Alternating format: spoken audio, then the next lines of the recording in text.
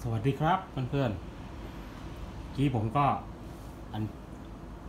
ทำคลิปอันบ็อกไปแล้วนะครับ XT 20เพิ่งได้มาวันนี้ตอนเที่ยงนะครับ อันนี้ผมก็รีวิวแบบเร็วนะครับ ผมก็ไม่เคยไปจับมันมานะครับตัวนี้ไม่ใช่ของผมหรอกครับ ของเพื่อนก็ฝากสั่ง สั่งแล้วก็ออกให้ช่วยดูไว้หน่อยว่ามันรับมาแล้วเป็นไงนะครับอะผมก็เลยลองมาลองเล่นก่อนนะครับ ก็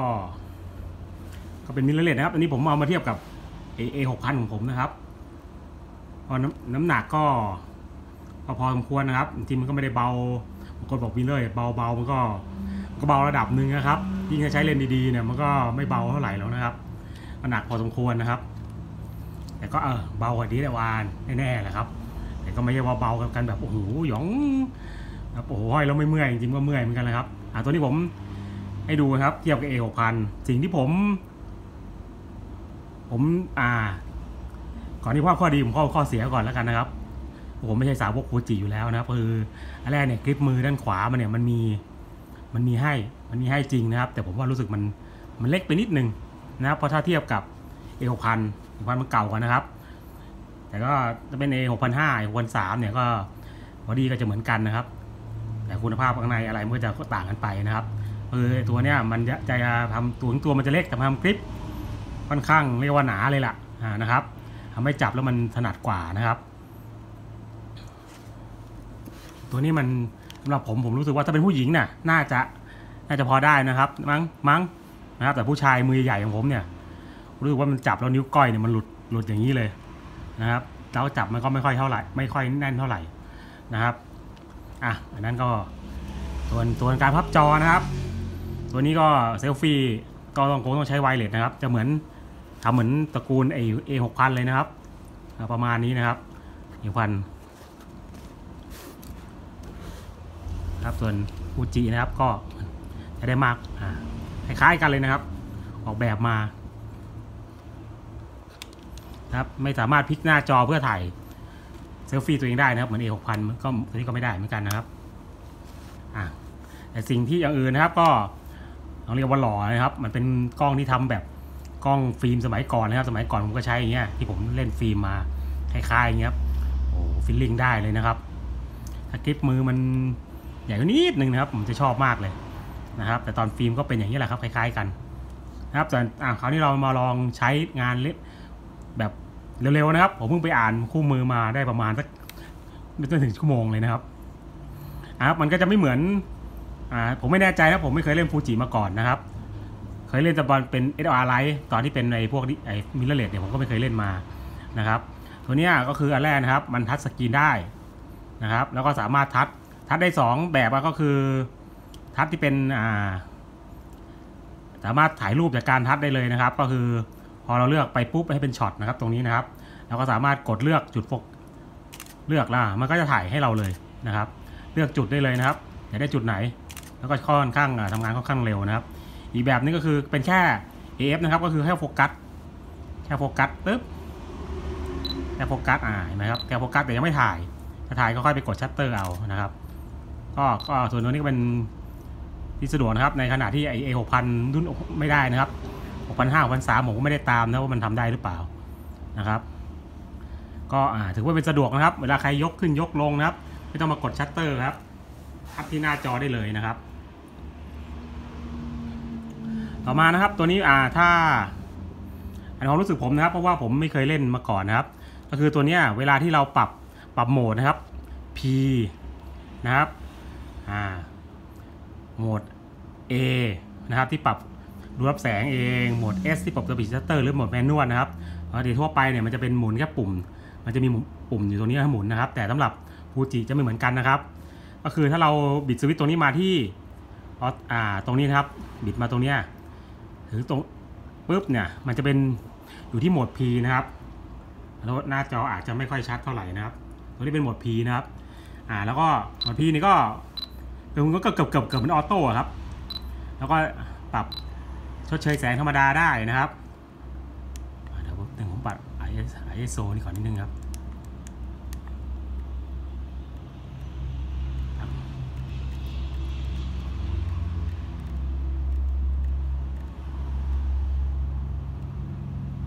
ตั้งเป็นออโต้แล้วกันนะครับ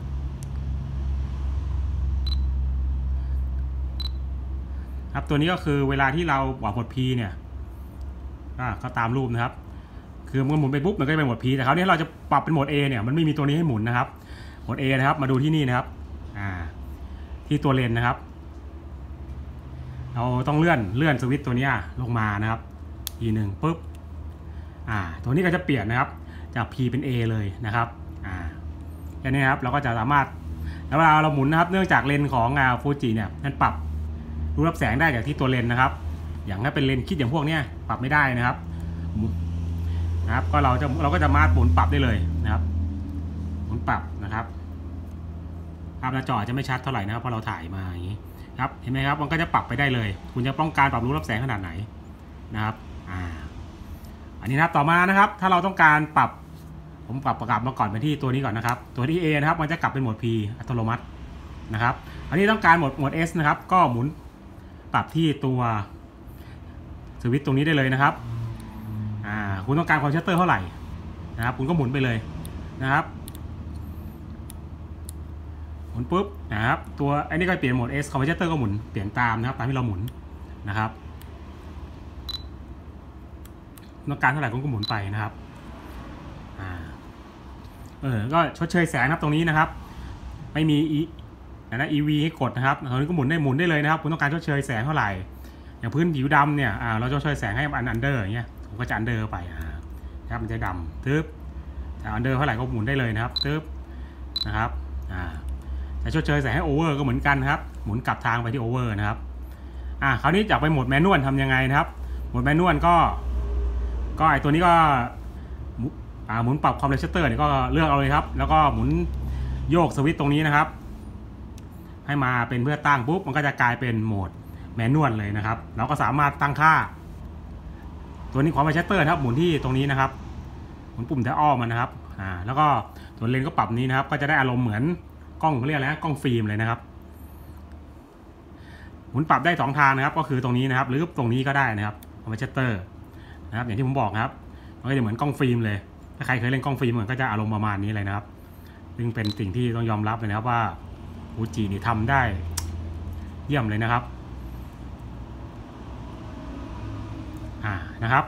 นี่กลับมานะครับแต่ถ้าเราต้องการแบบออโต้เลยนะครับ จริงๆมันคล้ายๆกับโหมด P นะครับก็กดมาที่โยกตรงนี้เลยเออถ้าโยกออกมาปุ๊บทุกอย่างจะเป็นออโต้หมดเลยนะครับ กล้องมันจะคิดให้หมดนะครับ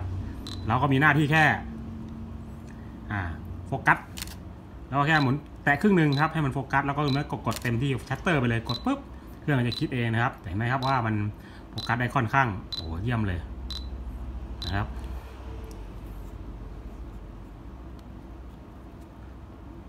ครับอ่าแล้วก็มีอะไรที่มันแปลกๆอ่าถ้าไม่แปลกครับต้องเรียกก็คือ มันจะมีปุ่มไดอออะไรหลายปุ่มนะครับ ให้ปรับก็ซึ่งเรียกว่าได้ใช้งานได้ง่ายครับก็ยังการปรับอ่า อ่าหมวดในการโฟกัสนะครับ ก็จะมีให้เลือกอยู่ครับ ให้ปรับตรงนี้นะครับ ก็คือเมนูโฟกัสตัว M นะครับ ตัว C ก็แบบ continuous ตัวตัว S ก็แบบซิงเกิลนะครับ AFS AFC นะครับ แล้วก็การเลือกจุดโฟกัสนะครับ ต้องดูก่อนนะครับว่าเราใช้โฟกัสแบบไหนนะครับ จุดเดียวพื้นที่ หรือ Y ติดตาไอ Y ติดตามนะครับอ่าถ้าเราใช้ Y กับติดตามเนี่ยเราจะไม่สามารถเลือกจุดโฟกัสได้นะครับ กับกันนะครับ ถ้าเราใช้แบบพื้นที่นะครับเราก็จะสามารถเลือกจุดโฟกัสได้นะครับ นี่คือพื้นที่ที่เราแล้วก็สามารถเลือกขนาดได้นะครับ ขยายโดยหมุนที่ dial ตัวนี้นะครับ ก็สามารถขยายได้ว่าเราต้องการพื้นที่ในการโฟกัสเนี่ยเท่าไหร่นะครับเราก็เลือกจุดเลือกเลือกบริเวณที่ต้องการโฟกัสได้นะครับอย่างอื่นนะครับก็ปุ่มแมนนวลนะครับอ่า จะมีอย่างเข้าทั่วไปนะครับ ก็ขนาดภาพคุณภาพของภาพแบบไหนบันทึกแบบรอแบบไหนแบบไม่บีอาร์ตัวข้อดีของมันก็คือ ตัวนี้ก็ฟิวจีเนี่ยจะให้พวกอ่าพวก film simulation มานะครับก็คุณอยากได้รูปอ่ารูปภาพเป็นคล้ายๆแบบลักษณะฟิล์มแบบไหนก็เลือกเอานะครับเอฟเฟกอะไรพวกนี้ dynamic range สมดุลแสงสีขาวอะไรพวกนี้ก็โอ้ดีผมเพิ่งไม่ค่อยมีเวลานะครับ ก็แต่ทั่วไปก็คล้ายๆ กับกล้องทั่วไปนะครับ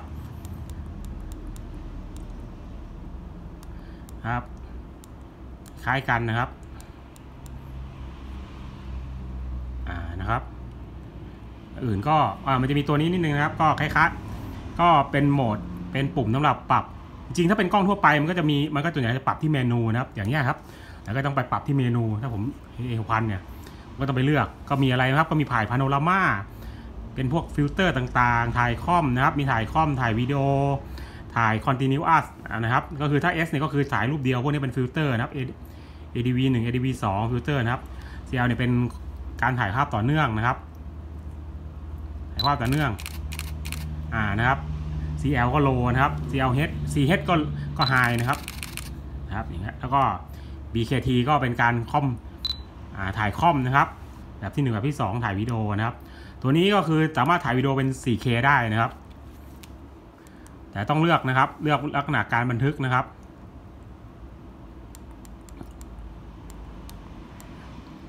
อาจจะยังไม่ค่อยคล่องนะครับ เพราะว่าผมก็เพิ่งใช้คือลองได้ไม่ถึงชั่วโมงนะครับ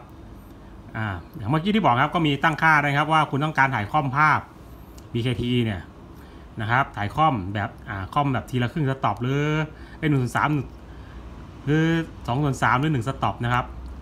สองอ่าอันที่สองเนี่ยตั้งตั้งเราเองนะครับถ่ายต่อเนื่องนะครับกี่เฟรม per sec นะครับ แต่ตัวนี้จริงๆอะได้สูงถึง 10 14 นะครับ ทั่วไปมันจะตั้งไว้ที่ 8 นะครับ แต่ถ้า 14อะเป็น electronic shutter นะครับ CL เหมือนกันครับตั้งได้เหมือนกันครับ แต่จะตั้งได้ 3 4 5 นะครับแล้วฟิลเตอร์นะครับแล้วแต่เราเลยครับ มันจะมีฟิลเตอร์ให้เราเลือกนะครับฟิลเตอร์หนึ่งฟิลเตอร์สองก็อยู่ที่เราเลือกนะครับ เราก็หมุนหมุนแต่สามารถหมุนปรับที่นี่ได้ มันจะสะดวกนิดนึงนะครับโหมดวิดีโอนะครับ อัตโนทั่วไปมันจะตั้งเป็นอ่า full เป็นอ่า full HD ธรรมดานะครับไอพันแปดสิบนะครับ full HD หรือ HD นะครับพอดีตาผมไม่ได้ใส่แว่นนะครับนิดนึงนะครับก็เลือกได้นะครับมี7 720นย์นะครับ แล้วก็มีถึง 4K นะครับกี่แบบกี่เฟรม25เฟรม24เฟรม29เฟรม per sec นะครับ วันนี้ก็เลือกเอาเองนะครับเราสามารถถ่ายวิดีโอได้นะครับ 4K อย่างอื่นก็ นี่ผมจะคร่าวๆนะครับ ไม่ได้ละเอียดลงลึกมากเพราะมีไม่ค่อยมีเวลาใช้กับมันเท่าไหร่นะครับ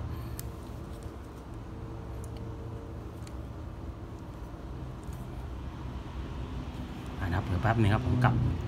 ไปที่ S mode S ก่อนนะครับ อ่านะครับ ก็ไม่มีอะไรครับ ตัวนี้ก็ง่ายๆนะครับสำหรับคนเอาเอามือใหม่ก่อนนะครับ ก็แบบที่เห็นนะครับ ก็ตั้งจริงๆก็ตั้งเป็นออโต้แล้วไม่ก็ตั้งเป็นโหมดแต่จริงๆผมนิยมใช้เป็นโหมด A มากกว่านะครับ ก็เลือก แค่เลือกตัวนี้นะครับอ่าแล้วเราก็ปรับปรับได้เลยนะครับ ปรับคูณรอบแสงอ่าต้องการคุมชัดลึกชัดตื้นอะไรแค่นี้เองครับ F น้อยรูปแสงกว้างก็นะครับแบบหนึ่งนะครับ แล้วก็ปรับซูมตรงนี้ได้นะครับอ่าเดี๋ยวลองไปเล่นๆกันดูนะครับ ติงอย่างเดียวก็คือเดี๋ยวคลิปนี้ครับสั้นไปนิดสั้นไปนิดหนึ่งครับ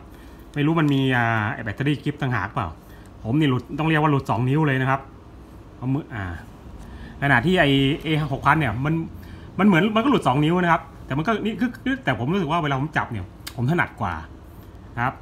อันแค่นั้นนะครับ แต่อย่างอื่นเนี่ยผมรู้สึกว่าอ่า XT ยี่สิบเนี่ยก็เหนือกว่าเยอะนะครับหลาย ๆ อย่างอ่าอีกอย่างหนึ่งนะครับการใช้แฟลชนะครับ